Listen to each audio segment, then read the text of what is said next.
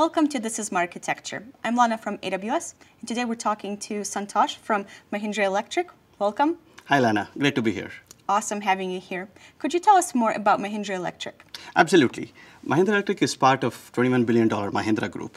We are actually the pioneers in electric vehicle technology and sustainable transportation in India. So we design, develop, and manufacture all the components of an electric vehicle. At the same time, we actually have mobility solutions as one of the key pillars of our business strategy. So we have a platform called NEMO, which stands for Next Generation Mobility, uh, through which we offer connected, shared, and electric services to our customers. And the entire platform is hosted on AWS. Great, let's dive in. So I'm seeing here an electric vehicle. So how does it communicate to the platform?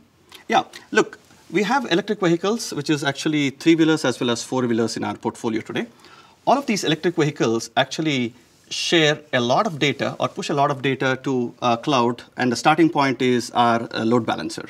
Uh, this goes over MQTT or TCP/IP and various other protocols that we are actually enabling.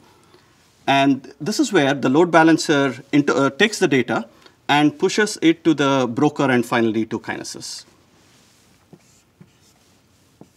Got it. So we have a broker running on an EC2 instance um, that later on pushes data into a Kinesis stream? That's correct. And for us, I think in the whole architecture, data reliability is actually the key. So we actually store the data at least for three days in Kinesis, and we do a lot of uh, processing of the data, uh, which is in Kinesis. And there are two kinds of processing that we actually do. So one, for example, if we have vehicle alerts coming into Kinesis, we actually have uh, uh Lambda uh, picking up the data. And in this case, let's say a geofencing alert came from the vehicle and because the vehicle moved out of a particular area, and that has to be notified all the way to the fleet operator immediately. So in that case, the Lambda picks up that event, sends it to SNS, and finally to the fleet operator who's sitting and monitoring the fleets here. At the same time, the rest of the data, which is coming in from Kinesis, goes through the Lambda and finally gets stored in S3. Great. So not only do we uh, take actions that need to be taken in a time-sensitive manner, but we can also analyze the rest of the data that is flowing into the S3 bucket. So this is looking to me like a, a pretty great data lake. Is that how you're using S3 and Athena services? Exactly. You know, we use S3 as the single source of truth for all our data scientists.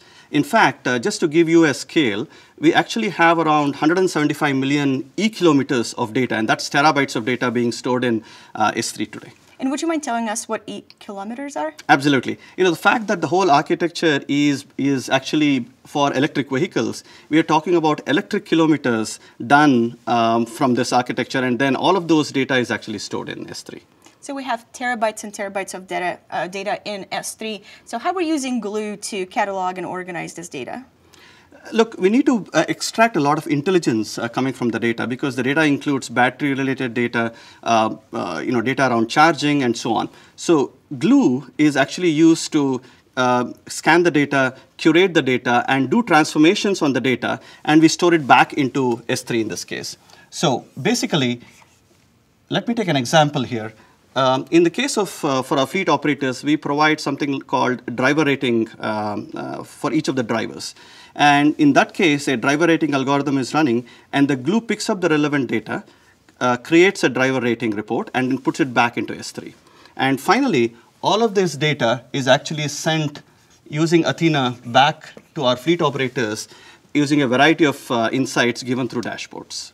So this way our fleet operators have a single pane of glass to see the uh, immediate alerts they have to take action on and also some of the insights on driver's performance, battery data, um, et cetera, et cetera. Absolutely. And they have all of this at their fingertips, which helps them improve their fleet utilization and improve their operations. Great. Santhosh, thank you so much for coming today and telling us about Mahindra Electric and the platform you've built on AWS. Thank you so much.